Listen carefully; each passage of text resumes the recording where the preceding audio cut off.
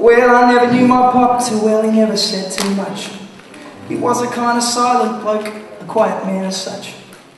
And he used to come over to our house and fix things in the shed. He was a wise and self-taught fellow and he always used his head. But he was never one to let it out, he always kept his cool. Never ever caught him acting up or ever playing the fool. But behind closed doors on anniversary day, Grandma told us he'd say, get your slippers off, baby. And your dressing gown too. And pull your hair curlers out. And throw around the room. And put your knitting needles down. Yeah, yeah, yeah, yeah.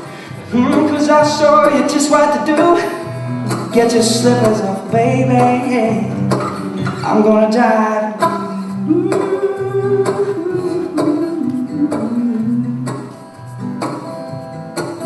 When my grandma passed away, and Pop was a little unsure of what to do. So he found himself a little retirement village and he booked himself a room. And we used to drop around from time to time and bring chocolates and say good day. And things went so well there that he decided to stay. So he was having fun, he was having a good time there, I guess.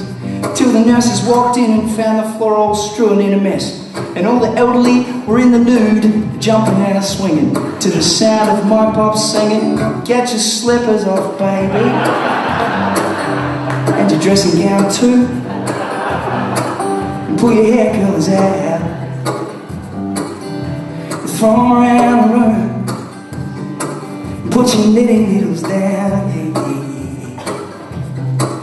Mm, Cause I'll show you just what to do. Get your slippers off, baby, yeah. I'm gonna die with you.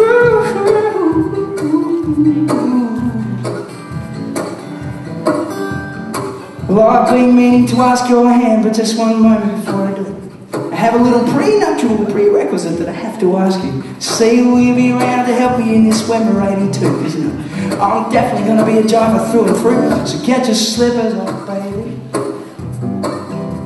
and a dressing gown too. And pull your hair colors out. Throw around the room. And put your knitting needles down.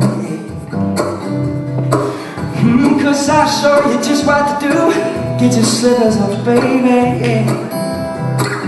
I'm gonna die